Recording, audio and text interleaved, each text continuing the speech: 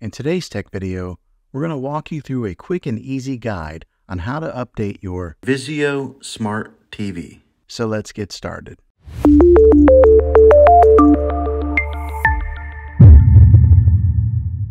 Some might ask, why should you bother updating your smart TV?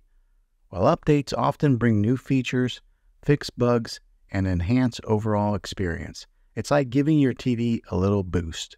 Step 1 Settings.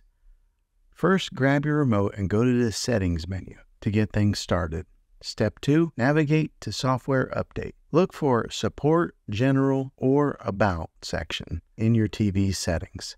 Here's where you'll find Software Update or something similar. The wording is different depending on the year of your TV.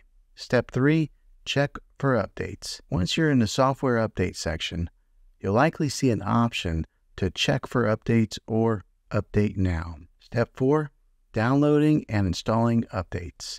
If there's an available update, your TV will prompt you to download it and install it. This might take a bit, so be patient.